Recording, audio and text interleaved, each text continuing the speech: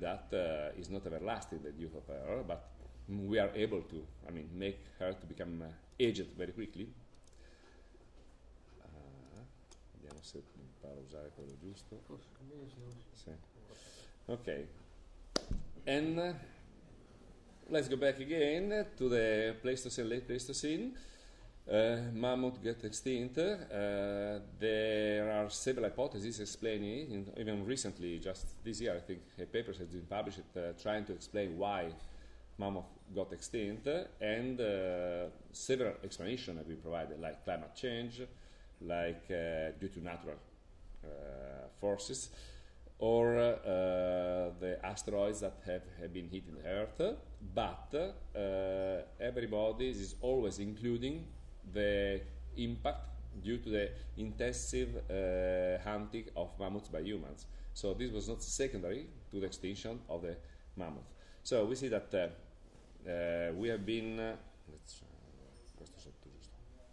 Questo.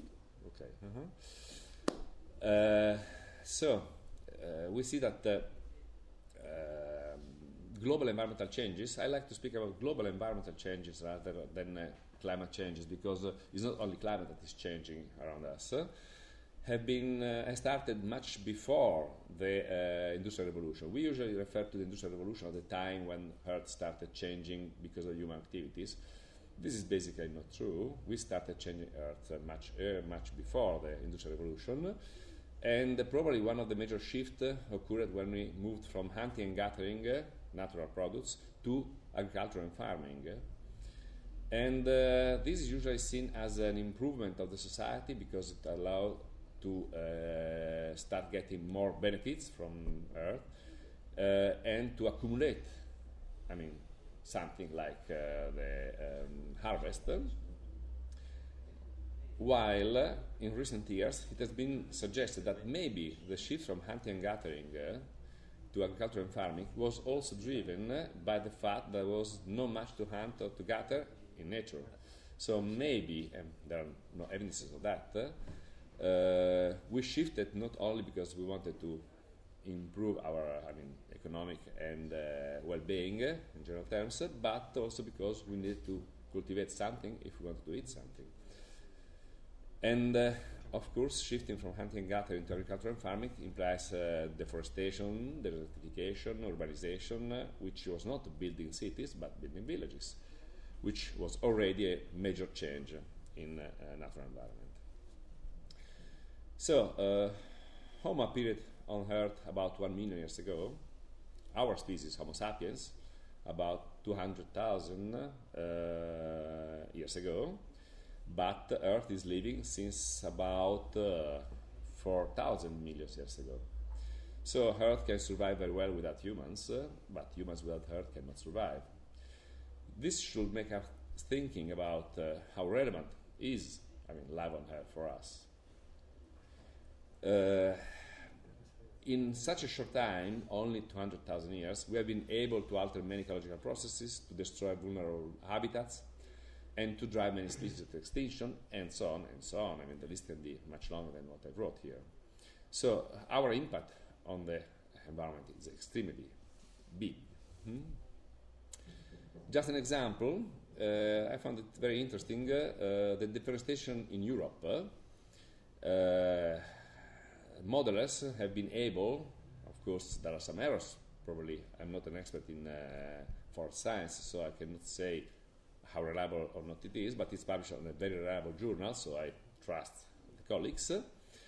We're able to model the change in land cover in Europe, and we can see that uh, thousands years before Christ, there was quite large uh, cover forest in Europe, and already, I mean, thousand, seven, I mean, thousand uh, years later, in uh, 300, 350 years after um, Christ, uh, we have uh, already uh, a large area in Central Europe, Europe that has been deforested, and deforestation went on, on, and on but it didn't start uh, in the time of the Industrial Revolution. It started much earlier. And so uh, we have to think about uh, what we assume to be the baseline for the environmental condition. I'm not the person that says that we have to go back to the before Christ time to have a lot of trees around us, but we have to think that that was the situation in Europe 3,000 years ago, which is not far away from us in time. And why the deforestation went on so quickly? Uh, if you compare on one side uh, the uh, deforestation in time and on the other side the population density and deforestation, you see that there is a very strong link between the population density and the deforestation process. So it's very likely, it's not a, I mean, an evidence, but it's very likely that uh, uh, human increase of human population has been leading to the reduction in forest cover in Europe. And we have seen uh, figures uh, that uh, Luigi Bruzzi has shown just a few minutes ago about how population is changing. A good correlation exists also between uh, species extinction and human populations. You see that uh, uh, in the last couple of hundred years, the population has been rising quite sharply, and the extinction rate was rising. Mainly, data refers to terrestrial species. We know very little about marine species, so we cannot say if there was extinction at the sea, but for terrestrial species, the extinction rate is strictly related to the population, human population. Hmm? Oh. And here we see how population was growing to the last uh, half million years. It was very stable hmm? until, uh, I mean, basically an industrial revolution in this case. We have seen that the outbreak of diseases like the Black Pest led to a drop, small drop in population, in human population, but uh, then we have this sharp rise of human populations and human population, and this is obviously the main driver in the last years, but it's not the only driver of changes that occur in the world. Focusing on the last uh, 100 years, uh, we expect to uh, have a, the, the, population to triplicate in a very short time. And obviously, uh, this means that uh, the use of natural resources is going to at least triplicate, but probably grow even more because uh, uh, large portion of human population is uh, willing to improve her condition. And why human population is growing so fast? Uh, in ecology, we have the concept of carrying capacity, but this doesn't fit to the human population. Why it doesn't fit? Uh, it's uh, because we are too well adapted to the environment so that we can grow indefinitely. Like bacteria on the plate, they grow very quickly and very fast until they exhaust the uh, substrata and then they die. Hmm? So the carrying capacity is uh, a buffer toward extinction, basically, which uh, brings the population to a certain, I mean, density, and then stops it from growing and exhausting the resources on which the population relies. Hmm? Ecological, the carrying capacity is uh, is missing in uh, in our population, but is also missing in uh, economy. I mean, we would like economy to grow forever, and from this point of view, the idea of sustainable development as a, an oxymoron is really acceptable because uh, economy is a subsystem within the Earth ecosystem. And the, eco the subsystem can be bigger than the ecosystem itself. So we have a limit to the growth of economy. Hmm? We have, I mean, many opportunities to see scenarios for the future we have only one Earth, and we need already more than one Earth, and uh, soon we will need uh, more than one Earth to, to keep things going this way. And this is something that we cannot have, basically. There's no way. and what will happen when our needs will grow indefinitely? That's where Rio 20 years ago and uh, Rio nowadays try to answer the question that they try to answer. And the point is also where we can grow. Here you can see from the UNEP uh, map uh, which area has been largely developed in the world. And you can see that, uh, I mean, basically the urbanized area, where by urbanization I mean uh, area that has been exploited by humans, which means that it's not native land, but is land that has been shifted from natural use to human use. And you can see that a little bit of uh, pristine land occurs, pristine, let's say pristine, in North America, a little bit in Southern America, a little bit in Asia. There are deserts, of course, that have not been exploited by us, but then the rest is rather red. Hmm? So where we can go to grow further? Huh?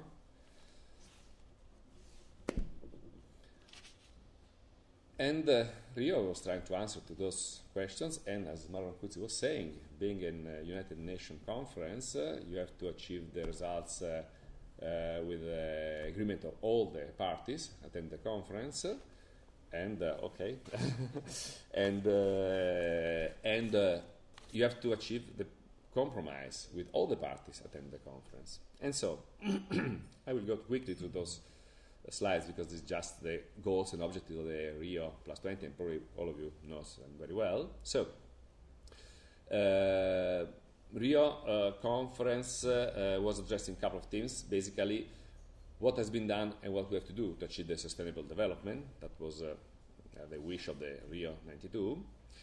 And uh, hot topics were green economy mm, and definition of the framework for the sustainable development which appears like uh, if it, they are very practical and achievable uh, goals, while indeed they are not. The conference was attended by 40,000 people. It's a city, basically, that was meeting there. And uh, I can I had the opportunity to attend the United Nations conference uh, last year, with only 4,000 people. Uh, I must say that it was really a mess, and uh, it was very hard to, I mean, to achieve. You can have very good contact personally with some people, but uh, the, um, the session themselves were really very political and not very effective in achieving the goals that were supposed to meet. And the document I read the document. Of course, uh, for the document, they received a lot of inputs, uh, thousands of inputs. They produced thousands of pages. I haven't read the document, I have to say. And I'm not sure I'm going to read the 600, 6,500 pages of document. Maybe I will read the synthesis. But uh, I'm wondering if all the investment that has been made on the Rio Plus 20 is cost effective. Economists like to say that we always have to judge the cost and benefits. it's easy to check, judge the cost of such a conference, but it's much harder to judge the benefits of such a conference. Hmm? Sustainable development uh, in the last years uh, has not been achieved to me, but uh, it has been shifted from being a, a goal, a scope to uh, conserve environment to a brand to promote new goods which are theoretically at least sustainable, but often sustainable are not. And uh, we have to be careful when you think about sustainable development because uh, maybe there is an undesired gift inside the terms sustainable development. The debate about sustainable development is based on three aspects economy, society, and environment. Of course, the three aspects has to be integrated, there are different, I mean, graphical options to show, but to me, the one that I like more is the concentric circles, but the core of the sustainable development must be the nature and the environment, cannot be economy. Because the, if the core is economy, it's not going to stay sustainable development. Sto arrivando, eh? so, uh, what is ecology and what is economy? Ecology is science that is studying the environment and is based on natural laws. We haven't set up the natural laws. I mean, if you drop an apple, it falls down. Not because we decide that it has to fall down, but because the natural laws say that it falls down. Okay? Plants are doing the photosynthesis. Herbivores are eating plants, and carnivores are eating herbivores. That's it. We can do much about that. Economy are the law about the house, and they are not laws that have been imposed by nature, but by us. We selected the law, we decided which are the law, and we impose people to follow the laws. Are those the right laws? We don't know. Basically, we probably also following the last years, uh, the deep crisis that we are facing again, uh, probably those laws are not totally right. Maybe they can be improved. Hmm?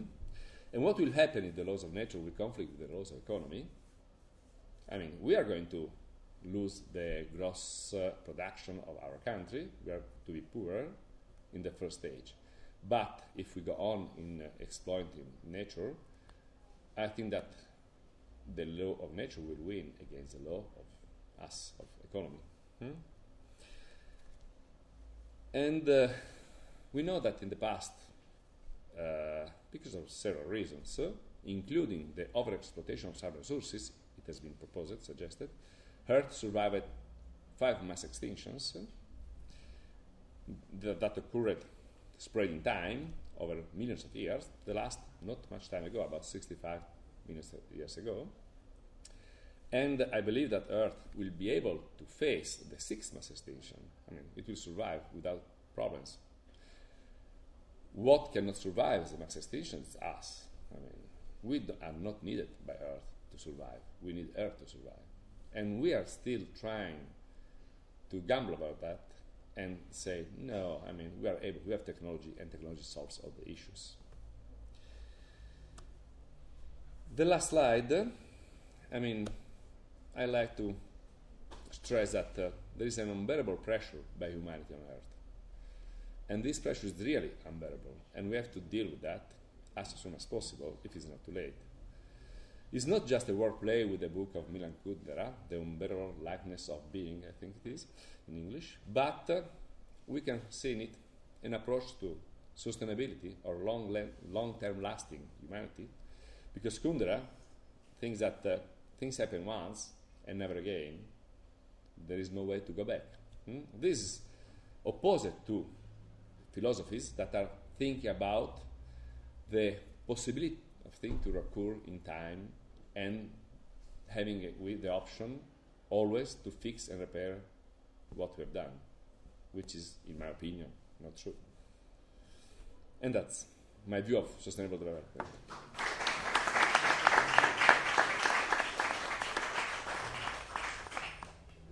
Thank you, Marco, for your presentation. Very interesting.